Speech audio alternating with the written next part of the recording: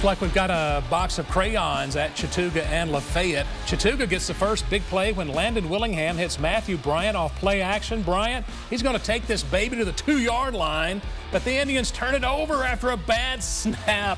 Gulp. What a gut punch for Chattooga.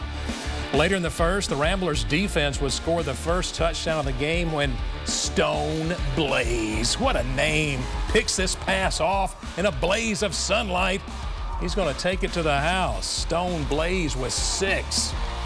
Second quarter, more Ramblers. Finley Collis takes the handoff and he finds his way to the end zone.